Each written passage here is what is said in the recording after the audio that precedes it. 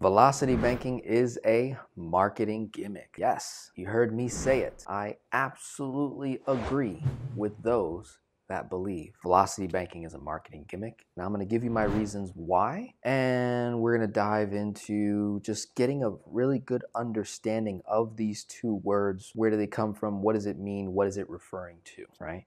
And and really behind it all, at the end of the day, it's just a marketing gimmick. It it gets people to click. It's uh, what do they call it? I forgot what they call it. Uh, put it in the comments. What is it called uh, when they, you know, it's like bait, clickbait. There you go. It is clickbait. Velocity banking, those two words are hot topic, hot trending words in the finance space. So I want to give shout out credit to Rich McCormick from School of Personal Finance who put this unique title together. Velocity banking is a marketing gimmick. And he did two videos, a part one and a part two. I watched both of them. Very good. I agree with pretty much majority of what he says. And so what I'd like to do for the community that believes in the concept and you've gotten, you know, tremendous results, I want to help you articulate the message clearer when you're talking to family and friends that um, maybe have seen videos like this, negative videos, velocity banking is a marketing gimmick, velocity banking is a scam, all these different things just going to give you that confidence that at the end of the day, you're summarizing an idea of what you're doing. If you try to explain to someone brand new what you're doing in terms of how you're paying off your debt faster by leveraging a line of credit and a credit card at the same time and you're running bills through the credit card and getting cashback rewards and you're offsetting the daily interest and you're paying no interest on the credit card and then you're sending all your income into this line of credit which reduces the interest cost the daily periodic rate reduces because of the balance owed. So you're you're offsetting the interest cost and you move the debt from a from this debt over here and you put it in here, you're essentially consolidating. That person already walked out the door, right? Your your fiance, your boyfriend, girlfriend, your husband, wife, your mom, dad, sister, brother, they've already checked out. They've already checked out. But for some reason, when we say, what are you doing? Oh, I'm using this strategy called velocity banking to accelerate my debt really fast. I'm pay it off, pay off all my debt within five to seven years or less. Are you interested? Absolutely. Boom. The door opens up. It is a marketing strategy. It's a way of articulating a message to the uninitiated, to the to the unknowing people, the, the people who aren't aware of this particular strategy. Brings awareness, piques their interest, they want to learn more, they engage, and then they go transform their lives. So from that perspective, uh, I absolutely agree with those that say that this is a velocity banking marketing gimmick. Now, where where Rich and I may disagree is as it relates to the actual like what are we doing and like how are we using this particular method, right? And I and I think the another thing that him and I probably might disagree on is when we say daily periodic interest or average daily balance or simple interest daily or daily compounded simple interest or simple interest daily compounding these words when used to compare against amortization interest or amortized loan where rich and i might disagree is he'll say you know, simple interest and amortized interest are the same thing. Now, if you were to Google, is simple interest and amortized interest the same thing? Every article you will find, for the most part, is showing a difference. Is even banks, right? Banks, major banks, right? Articles are showing there is a difference between how simple interest is calculated and how amortization interest is calculated. There is a difference. Some say there isn't. At its core, it's basically the same thing, and I I can understand where they're coming from, but when we actually get into true application of this particular strategy in combination with a simple interest debt, there is a vast difference, especially when we look at rate and how the rate gets charged to the debt. There's a difference. So we might disagree there, but let's look take a look at the whiteboard and let's look at some other marketing terms that get used to describe velocity banking. So you have velocity banking and then you have another marketing term called paycheck parking and another term called accelerated banking. These are sexy terms to describe a fairly complicated, confusing type of a strategy. Allows us to leverage debt to pay off debt or leverage debt to invest and make more income. That creates more cash flow. So if we remove the terms at its core level, this idea of velocity banking, if we remove that term, remove paycheck, remove accelerated banking, at the core, what you are doing is replacing your checking account with a credit card, a HELOC, or a PLOC, or a BLOC for business owners, right? One of these four tools is what you're essentially using to replace the function of your checking account. What does a checking account do for us? Well, it's where money comes in, right? So income that you and I generate has to land somewhere. For all of us, it lands in a checking account. And then that money will sit in this checking account and it pays bills and it pays debts. And then what's left over after bills and debts are paid is cash flow. So cash flow is left over after all bills and debts are paid. Where does that cash flow go? Well, for some people, it'll get moved out of the savings account and it'll uh, out of the checking account and it'll go into a savings account, or they might transfer it to a brokerage account or a money market or a CD or wherever, right? That's that net cash. Either all bills and debts are paid, or what a lot of people do is they take that cash flow and they eventually make an extra payment on their debt. So what happens is that cash flow doesn't reveal itself for most people till the end of the month. So that cash flow was sitting in the checking account doing nothing, earning nothing. And then it was deployed after all the bills and debts were paid. Then the individual that's trying to pay off their debt faster is doing so by making an extra payment. So this model of make money, spend money, have cash flow, extra cash flow, pays off debt is the traditional model of eliminating debt. Now, what I just explained there has marketing terms. Those marketing terms are called debt snowball, debt avalanche, extra payments, right? These are marketing gimmicks that attract eyeballs, that get people to say, well, what is debt snowball? That sounds, debt avalanche, extra paint. What? What does that mean? It's exactly what I just explained. Very simple though, right? Much simpler. Bringing it back to velocity banking by removing the terms, the first thing that's happening is you're replacing your checking account, you're replacing that function of where money lands. So instead of your income landing in your checking account, you immediately would move the money from your paycheck into one of those four products, a line of credit. Then from there, that line of credit, you then extract money back out depending on the tool. Money would come out, pay bills, pay debts. And then what happens is you would have a debt such as a car, and in the form of chunks, typically, or lump sums, you would move the car debt from one location into the line of credit. There's a marketing term for that. That is called debt consolidation, where you move debt from one location to another. So, so far, what I'm doing is I'm building and incorporating everything that I just said into one strategy, which I typically we'll name it velocity banking. Velocity banking leverages these marketing strategies, leverages debt consolidation, and leverages the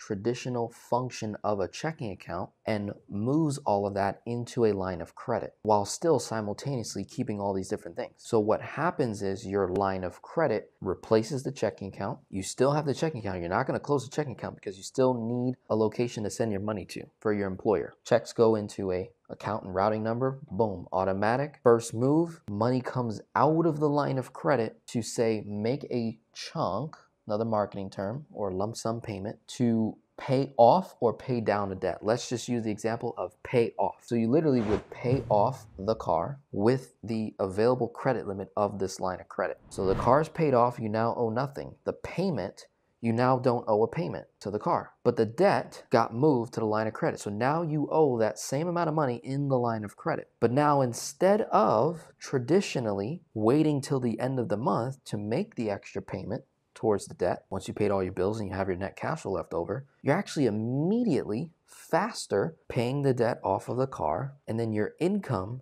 is now, all of the income is now paying down the line of credit. So now money came out, paid off the car, income came in, got moved to the line, then money comes out of the line again to pay the remaining bills of that month. And it creates this cycle. This refers to the velocity of money. Let's look up the definition velocity of money. If you've never heard that before, the velocity of money, we're going to learn the definition together. Go to my share my screen here. Velocity of money definition. Velocity of money is a measurement of the rate at which consumers and businesses exchange money in an economy. What in the heck does that mean? Let's read a little bit more. It is the number of times that money moves from one entity to another. The velocity of money also refers to how much a unit of currency is used in a given period of time. Simply put, it's the rate at which consumers and businesses in an economy collectively spend money. The velocity of money is usually measured as a ratio of gross domestic product, GDP, to a country's M1 or M2 money supply. The word velocity is used here to reference the speed at which money changes hands. So understanding the velocity of money is important to understanding velocity banking. Velocity of money is important for measuring the rate at which money moves in circulation is being used for purchasing goods and services. It is used to help economists and investors gauge the health and vitality of an economy. One of the major issues that I believe majority of Americans have is their velocity of money in their own household economy. So if you had to take that macro definition of businesses, consumers in a economy and you had to shrink that down all the way down to your household your household economy the way you can translate that is how quickly is money coming into your economy? How quickly is it exiting? How many times are you using $1 in your economy to get a particular job done? By using the velocity of money concept strategy you're able to inject additional capital via debt that you would owe to speed up the way your money moves from checking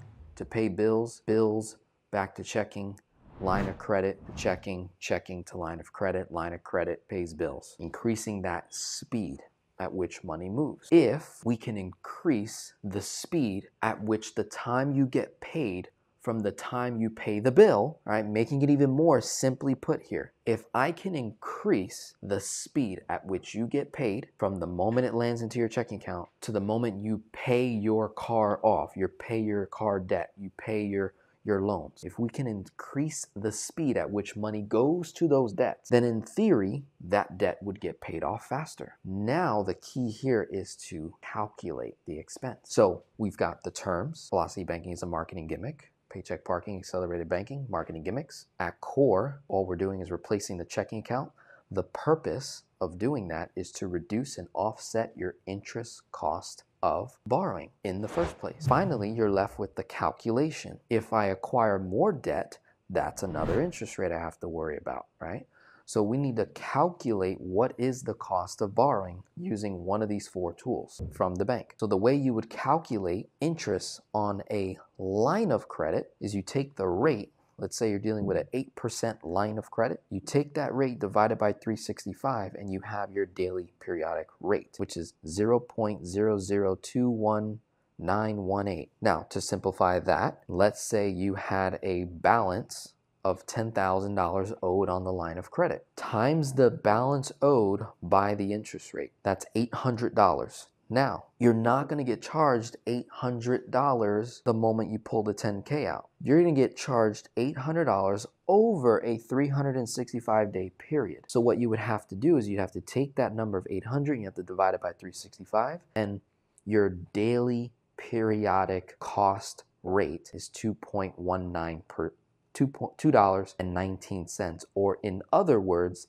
0.0021918%. That is less than 1%. So 8% became 0.0021918% in terms of your cost. So then you now have to figure out the math between the interest rate of that car. Now, it's pretty easy if the car loan rate is higher than your interest rate on the line of credit, what we would call debt consolidation. So again, at its core, all velocity banking is is debt consolidation. And I could make the argument that this form of debt consolidation is majority of the time or I would say almost 100% of the time, better than your traditional debt consolidation or refinance. Refinance is another term. And essentially, so if we looked at debt consolidation, typically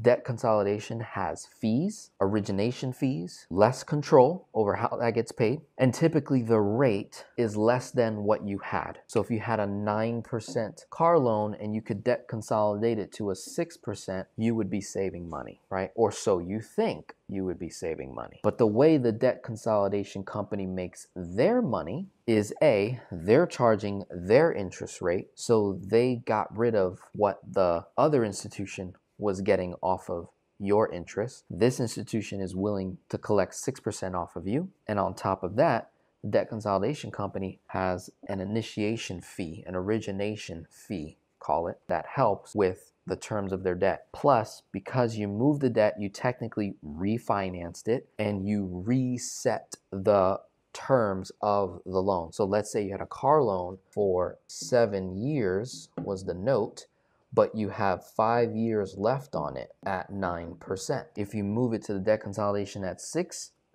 they might restart it at seven years again. So when you look at the total length of interest and costs, you actually end up paying more often when you do this than if you would have just stayed with your car at that higher rate and kept paying it down the traditional way of just making extra payments. Most of the time, people are better off not consolidating their debt because they're just thinking, how can I get a lower monthly payment? That's how most uneducated people are thinking. So these companies are making massive profit because the consumer is only thinking this, not total cost. Okay. So now, if we take debt consolidation with this strategy of replacing your checking account, I make the argument that A, it's cheaper, usually with a line of credit with these tools. Usually, in most cases, there are no fees. So, no fees, cheaper, more control. What do you mean by more control, Denzel?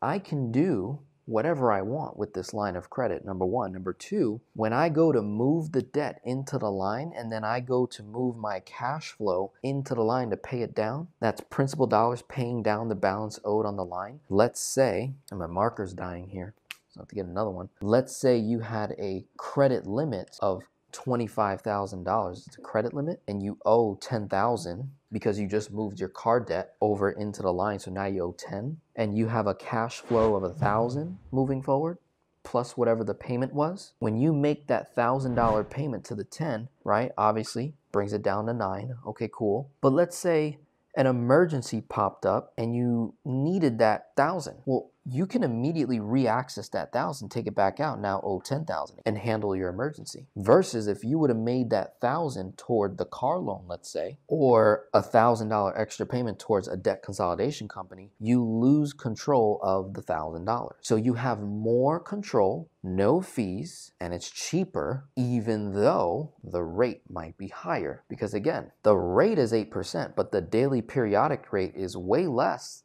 than 9 then 6 over here. So now you have to say, okay, well, how many days am I paying $2.19? So then you have to work your math by figuring out the days you get paid and the days you have bills, right? So where this gets really interesting now in terms of how you can speed up your velocity of money and essentially reduce your daily periodic rate, if done properly, you can take 8% and pay less than, say, 2%, less than 3% over the span of one year, let's say over 12 months or over six months or three months or even one month, like looking just month to month, what I actually paid in interest versus what I would have paid if I would have just made extra payments. And in some cases, doing this strategy might yield the same or similar results if you would have just made the extra payment. So, not every time is this strategy going to work in your favor. Not every time are the results going to be drastically different. They might be similar to if you would have just made extra payments. Now, if you value control of liquidity, and let's say you had to choose between making extra payments towards that car of a thousand bucks or moving the car loan into a line of credit and then sending your $1,000 payment plus all your income into the line, you might value the control of liquidity in case something happens. You're able to handle an additional unexpected expense that you weren't necessarily accounting for. Versus before, if you allocate 100% of your cash flow to that debt and then an emergency pops up, guess what typically happens? Now you have to go use a credit card to handle that expense at 29%. Or you have to go to Amscot, or you have to go to payday loan, or you have to, you know, take out another loan or something. And so oftentimes we don't think about what can happen in your process of paying off debt in terms of unexpected expenses and nobody really talks about how to deal with that right? Other than have an emergency fund. But what if your emergency fund still doesn't cover the unexpected expense what are you left with ask for money or go borrow right most people don't know how to ask for help, and when they do, they maybe not get enough, okay, or maybe not in time. When you borrow, it's more readily available and accessible. Now it's just a matter of how can I effectively and efficiently borrow this money and pay the least amount of costs. And I would argue that with a line of credit, credit card, HELOC, PLOC, those types of tools, you can control and reduce the interest faster and more efficiently. Hope this was very valuable to you for those that try to explain this to your family members. Those of you that get in, say, arguments in the comment sections with, with others that may disagree.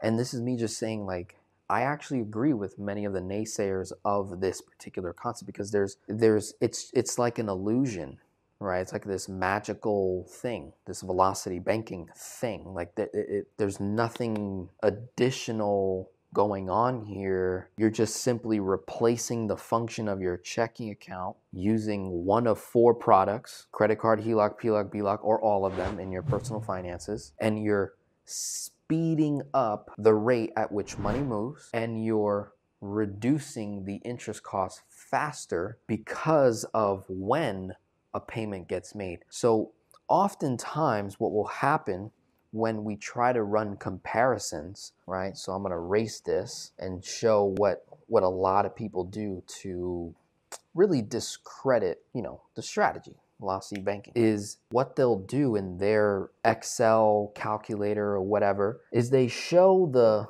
let's say we're dealing with extra payments of a thousand dollars and we're gonna try and pay off a car, right? We got a car loan and the car loan is 400 bucks a month is a monthly payment at a 7% interest rate and we're going to make extra payments of a thousand bucks when you run it through a, a scenario of a, of a calculator the problem that you'll have out the gate is it's not going to be accurate unless you get one of those calculators that show the exact day that the money is being applied to the car loan so let's just say the car loan due date is the first of the month.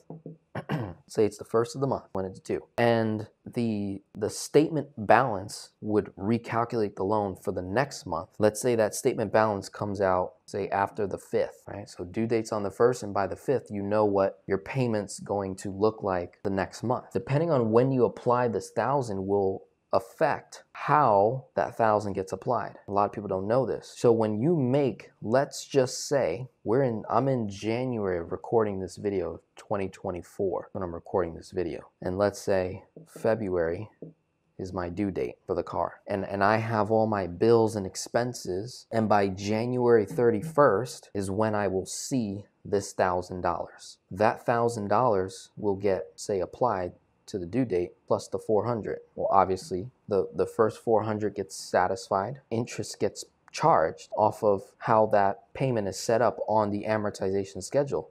Regardless of this $1,000, it's not going to change that mm-hmm. $400 payment and the interest costs. It's already been set because the month prior, after the 5th, they already tell you what the payment's going to be on your amortized loan. So it's a fixed payment, of course, but the interest has is already going to be applied unless this $1,000 payment is made before the next cycle occurs. That's how you can manipulate and change what that net interest will be. So, for whatever month that you're in, it's not going to change how much interest comes out of that $400.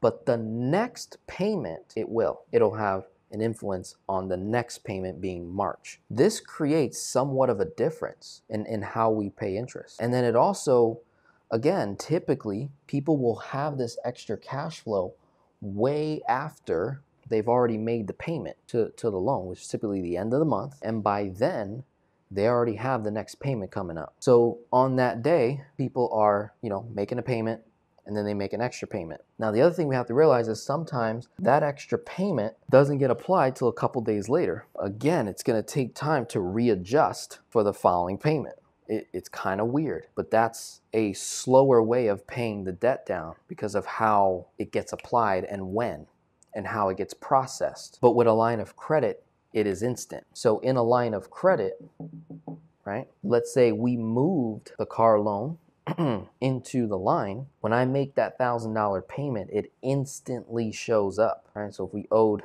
10,000, the minute I transfer a thousand, it immediately registers, especially if you're banking at the same bank that your line of credit's at. So if your checking account is at the same bank as your line of credit and that's where you send all your income to, you can get this instant change and that'll instantly readjust your daily periodic cost. So instead of paying interest on 10,000, now you're only paying interest on 9. And because you're no longer paying that $400 payment, now you're at 80 $600 where now you made the payment 100% principal as opposed to interest. Then what happens is only on the due date of the line, only on the due date of the line, interest gets charged. And interest can come out of the line of credit itself. It does I don't have to make an additional payment to the line. The interest can come out out of the available credit, which would just increase the balance, but by then I'm already sending my next paycheck. So all we're doing is increasing the speed at which money moves, replacing the function of the checking account, and doing our very best to reduce and offset the interest costs. Again,